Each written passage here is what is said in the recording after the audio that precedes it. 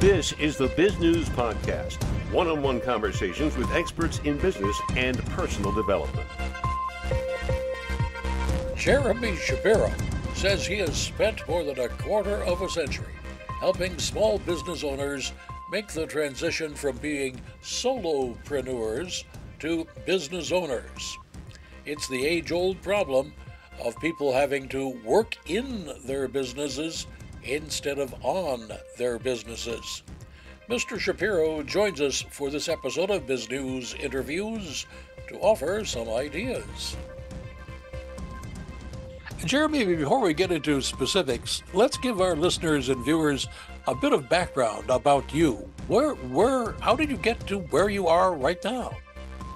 Well, my world has always been entrepreneurship and working with business owners, founders, and entrepreneurs. Uh, even back to my very first business decades ago, you know, during my high school years, um, it was working with business owners, and that has only grown over the years. I've had at least a half dozen different businesses, and every single one of them is in that world. And you know, entrepreneurship is a wonderful thing that provides what I call entrepreneurial freedom. And not only do I love that, I love helping clients and mastermind members out with exactly that too. And you're a member and a leader of a group called Masterminds. When I hear that, I only think of James Bond and the evil Mr. Blofeld. Mwahaha. No, so at the uh, the Bay Area Mastermind, um, we follow in the footsteps of the titans of industry from you know a century back. Uh, Napoleon Hill first published in his 1938 book Think and Grow Rich this idea of the mastermind right? And this is the idea that when you have more than two people get together in the same room who are like minded and are on this journey, they can help each other out. And you get this creation of like this third mind, this greater mind that encompasses everyone who's there. And so we use a version of that at the Bay Area Mastermind to help like minded entrepreneurs get together once a month for a full day of working on their business. Not working in the business, but working on the business, doing the bigger picture work that really helps businesses to pivot and take quantum leaps forward instead of just doing the same old, same old again and again and getting the same result again and again. Now, working on versus working in has been a big thing with you. Explain the difference and some examples. So, working in your business is doing the work of the business, right? So, you think about a typical example. If you're a carpenter, you have a carpentry business, the work of the business is going out there and hammering nails and building things with wood right? The work on the business is figuring out what your mission, vision, and purpose are, figuring out where it is that you'd like to go, figuring what the systems should be like in your business, figuring out how you plan to exit your business, and all those bigger picture things which really help you to move your business forward. So, but, yeah. Uh, I'm, I'm going to say if you happen to be a solopreneur, and so many of the members of our audiences uh, seemingly are, isn't it difficult to work on while you're still in the thing? Yeah. So, in an ideal world, maybe you'd spend all your time working on your business. But with our mastermind groups, we meet once a month for a full day of that work on the business. We can all afford to carve out one day a month to work on the business, even if you're spending the rest of the time working in your business. Especially for us solopreneurs who feel like they can't afford the time or the financial investment to step away from the business and do the work on the business, those are usually the ones who need it the most. Because until you can get out of the way of yourself and your business, it's really hard for it to thrive and to grow. Over the years, you've been uh, preaching this. What's been a, uh, a good result that you like to point to? Yeah, there's a, a, story of one of our members I love who uh, who came into our group with one business, uh, like many of our members do, and over his tenure in the group, actually pivoted the business, launched new side businesses, and really became a true serial entrepreneur. But one of the main businesses he came into the group with, um, he actually built up and lined up for sale. He sold the business, did very well on that, and then did something many dream of, which was packed up the family into an RV, drove around the country, didn't do any work, just spent quality family time for a good year or so, and then settled down uh, elsewhere in the country and decided to do what many entrepreneurs do, which was launch more businesses and invest in other businesses. And so a lot of that came from the systems that uh, we helped to put into place, the pivots that came within the business, and really that peer advisory from other members in the group. So we've got tons of stories like that, um, but it always comes down to others seeing the blind spots that you don't see in your own business and helping you get answers to the big burning questions you have about what to do next and where to go in your business. It must be rather difficult to tell an entrepreneur that we've found these blind spots. How do you go about doing that without getting uh, some instant and physical retribution? so uh, it's interesting. Sometimes people ask me when they're uh, when they're applying to our test drive of the mastermind, and that's where you get to invest in just one day of joining us behind closed doors to see if you're a fit for the group, right? They'll ask like, "Hey, like, what makes for a good member, or what would be not a good member of the group?" And these are some of the things that we look for during that test drive. Um, you need to be open to being vulnerable, right? Sharing what's really going on. When we get behind closed doors, this is the chance to share what's working, what's not, and where you need help and you can't do that successfully if you're not willing to be vulnerable and share what's really going on, what the real numbers are in the business, and what the real true challenges are. And along with that, not just the sharing, but is the being open to receiving feedback. And so we've had folks who've joined us for the day and we get to see the true colors and realize that maybe they're not open to that feedback or peer advisory. And that's not going to be a good fit for the group. So everyone in our group is all growth focused right? Everyone is a lifelong learner. Part of what we screen for is we're asking like, hey, what are the, you know, what are some of your favorite books you've been reading lately? What other groups are you part of? What conferences do you go to? We want to see people who are in that personal and professional development, not just now, but that's just who they are. We're all voracious readers. So when we see people who are open to that, that's a really, really good signal to us that they're going to be a better fit for the group. What is a, a warning sign that somebody really is not fit? Yeah, so there's a few a few signs for us. One is if they're too early stage. Um, we found that we had to set the line somewhere. That if you're too early stage in your business, there's not as much you can provide to the group in terms of peer advisory from you. And instead of sharing best practices and refining something, if you're too early stage, you're asking how do I questions, not from a place of experience and iteration, but from a place of never been there before, right? So that's why we work, we work exclusively with established existing businesses who have a product or a service, they're actively selling, they're generating revenue, they have a sales pipeline, and now they're looking to scale up and grow. And for the business owner to find true entrepreneurial freedom. So that's one of the things we look for, right? Um, the second piece we look for is uh, we want those lifelong learners, right? These are our voracious readers. These are those who are going to conferences and taking courses and improving themselves. Um, Thirdly, we're looking for folks who truly are the business owner. Occasionally, we'll come across folks who think they're a business owner, but they're maybe a realtor or a financial planner or someone who really answers to a boss. That they may be like a, uh, they may have their own shingle or brand, but they still are under someone else's thumb. So, a question we ask in that is, you know, if the group provided feedback on, say, doubling your prices overnight or changing what you sell, could you go with a stroke of a pen make that happen? And like in the case of realtors and financial planners, like rarely can they do that, right? A broker or something else is a different story, but for the most part, they can't. Whereas a true business owner can say, like, yeah, it's my business. If I want to change it, I do it.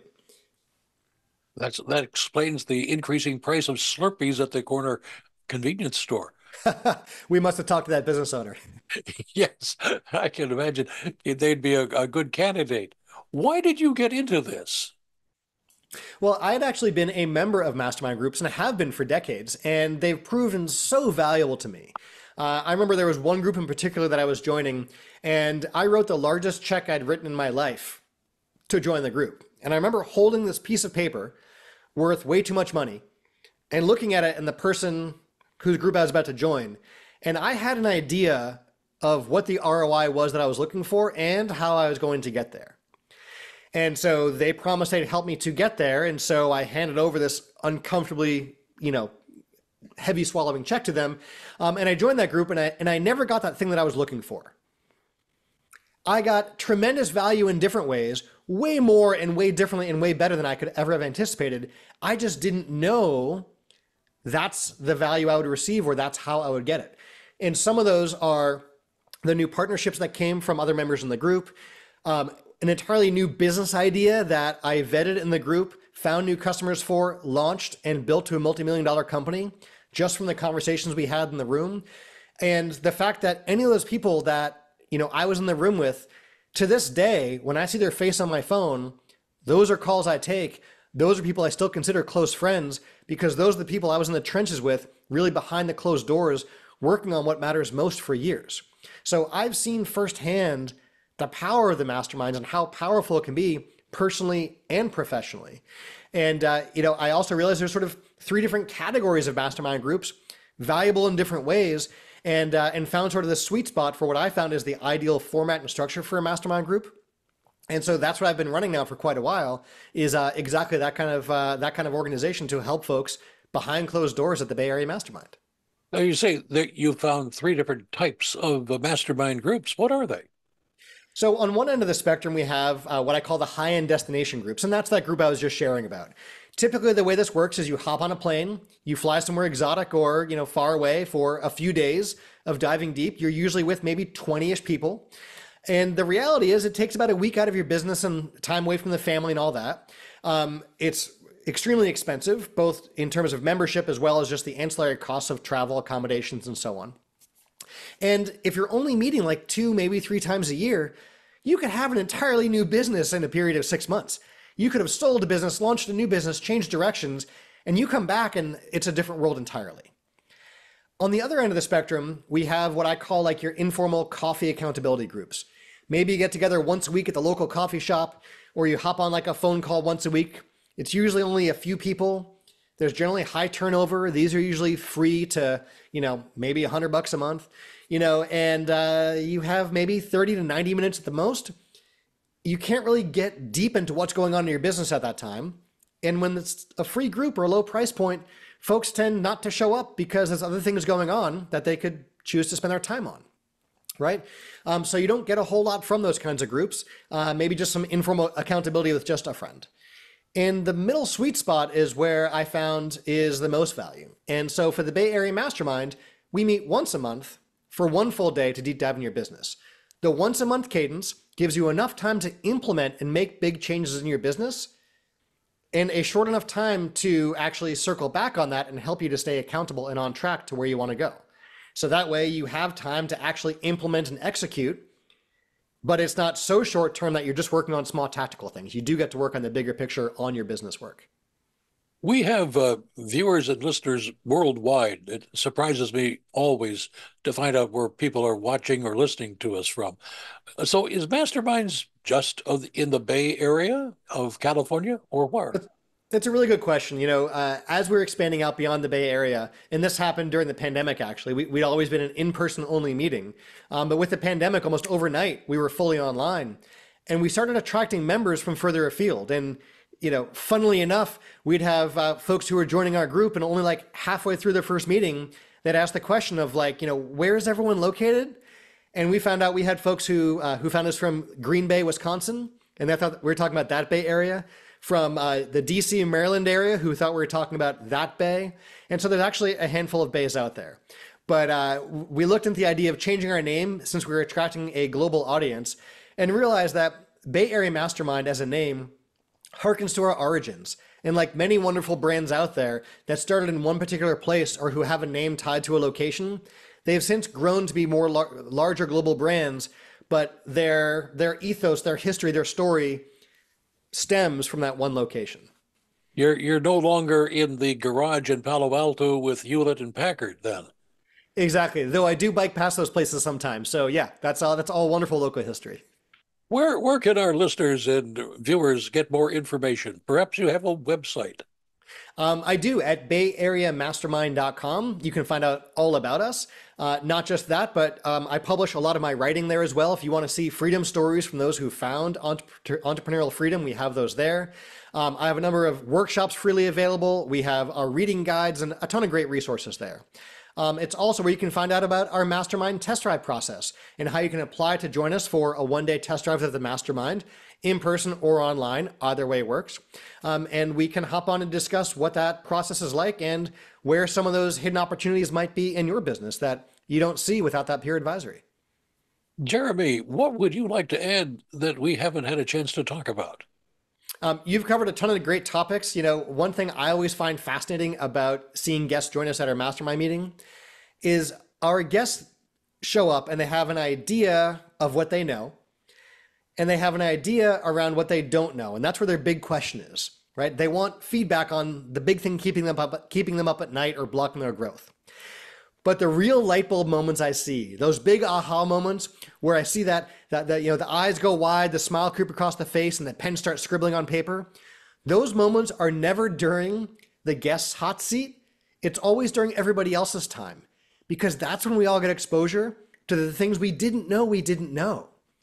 All those big opportunities, pivots, and ideas don't come from the realm of things we know we know or that we know we don't know, but truly from getting that insight and exposure to others doing really great things. And that's where we find out about the things we didn't know we didn't know. From resources to contacts to methodologies to marketing strategies to everything. So you might know what you uh, you might have an idea of where you need help, but the real growth comes from surrounding yourself with like-minded individuals, like in a mastermind meeting, and getting exposure to what you didn't know you didn't even know.